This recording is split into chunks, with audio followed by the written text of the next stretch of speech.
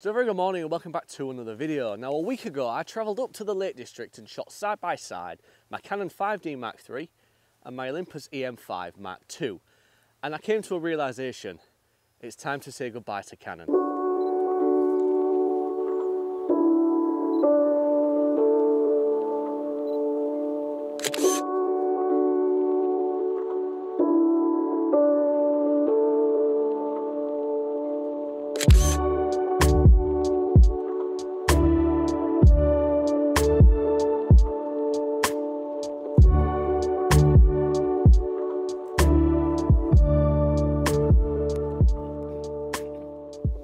Longest time I have been a Canon user. So we started with a 350D, then there was a 4000D which was rubbish, then there was a 200D, then a 6D, then we moved to the Canon RP and the EOS M6, then we moved back to DSLRs with the 7D, the 1D Mark III, finally the 5D Mark III, and I'm fairly certain there may have been a 400D in there as well somewhere.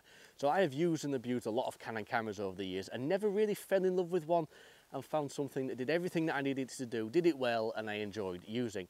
Until we discovered the Olympus cameras with the Olympus EM10 Mark II and then the Olympus EM5 Mark II. One of the biggest reasons why I've never really enjoyed using the Canon stuff is the size and the weight of it all. So this is my standard zoom lens for my Canon cameras, my 24 to 105 f4.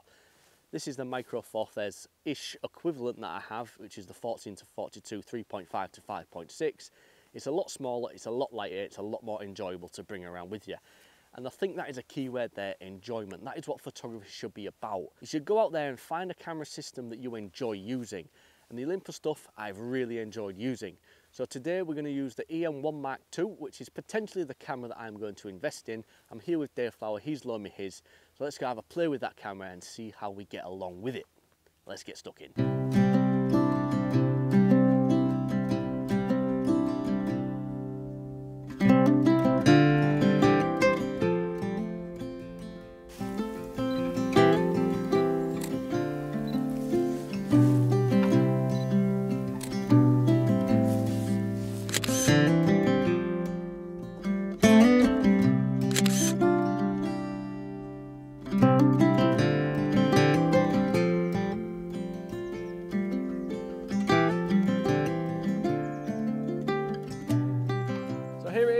Olympus EM1 Mark II. 20 megapixels, 60 frames a second base mode, 80 megapixel high-res shooting mode, 4K video, 4K cine video as well. It does everything that I need it to do. It's small, it's lightweight, it's compact. It's about the same size as my Canon RP. Weighs a little bit more, it's about the same size. I can live with that. This is my 14 to 42 millimeter lens on it. So I've just been taking some photographs around here and just seeing how they turn out. I really quite like this camera. I am wondering if it is going to be my next step. I just need to find a box big enough for all the Canon stuff. I'm leaning towards it, I really, really am. The IBIS in this, I don't need tripods. I can just walk around taking pictures instead of having to worry about setting things up on tripods. Image stabilization is something I've never really had with Canon. The IBIS in this is fantastic. Let's keep playing, let's keep having a go and see what we can come up with. So there is another kind of photography that I sometimes dabble with and that is the macro photography. So I own a macro lens, it's a Sigma 105mm 2.8 so that kind of lens is something that I would have to look at picking up again if I was to swap systems completely. It just so happens that Dave, who I'm here with now, has a macro lens, it's the 60mm f2.8 so let's have a play with this, let's see if we can take a macro photo. So we're going to use the high resolution shooting mode on this camera which will give us an 80 megapixel raw file which just sounds like all kinds of fun. Let's go ahead, let's take the photograph. There is a small green shoot growing off of this mossy log. So let's take this photograph then. 80 megapixel raw file, touch the screen with a touch shutter, two second timer, an 80 megapixel macro photo. That sounds like fun to me. Here it is.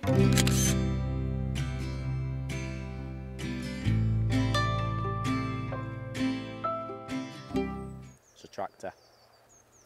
I'll wait. It's a slow tractor. So a lot of my favourite images have been taken with my 5D Mark III and an old 6D that I used to have. Canon full frame cameras, Canon full frame lenses, L series glass, image quality is up there with the best of them. But over time, I've kind of realised where my images are actually showcased on these YouTube videos, on Instagram, on a website, compression. Nobody's going pixel peeping, nobody's seen the high resolution stuff. And I've kind of realised that my new favourite images that have been taken with this when they're actually showcased, they look exactly the same. I'm not going to be losing out on anything realistically by making this trade. It's just a scary trade for me to do. I've had fun today with Dave's EM1 Mark II. It's the camera I'm probably going to pick up along with the 12 to 42.8 Pro and possibly the same macro lens that Dave has, the 60mm 2.8. It's a scary time, but I think the time has come where my photography goals and needs have shifted now. I don't need clinical sharpness, I just need a camera that goes out and takes fun. And at the end of the day, these things are just tools. That is all they are, they are just tools. A camera is a camera, a lens is a lens for the most part. So with that being said, thank you very much for watching today's video. I do hope you enjoyed it. If you did, please do give it a thumbs up. It really does help the video, brings new viewers to see my content. If you liked it more than that, there is a subscribe button down below.